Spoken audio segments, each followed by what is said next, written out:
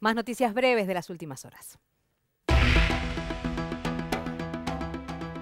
Diputados del Frente Renovador retoman hoy la publicación de los datos de inflación medidas por consultoras privadas ante la ausencia de números oficiales elaborados por el Instituto Nacional de Estadísticas y Censos. Se trata del índice de precios al consumidor correspondiente a noviembre, diciembre y enero último. La presentación se realizará a las 17 horas.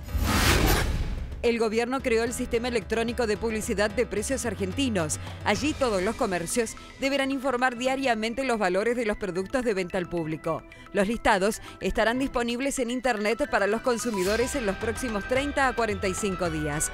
Quienes incumplan dicha normativa serán sancionados con multas desde 100 mil a 5 millones de pesos. Un camión volcó su carga de botellas de vidrio en la subida de la avenida Mitre al puente Pueyrredón, mano a Capital Federal. El hecho ocurrió a la madrugada cuando el conductor realizó una mala maniobra. El tránsito fue desviado varias horas por avenida Hipólito Yrigoyen para despejar la vía.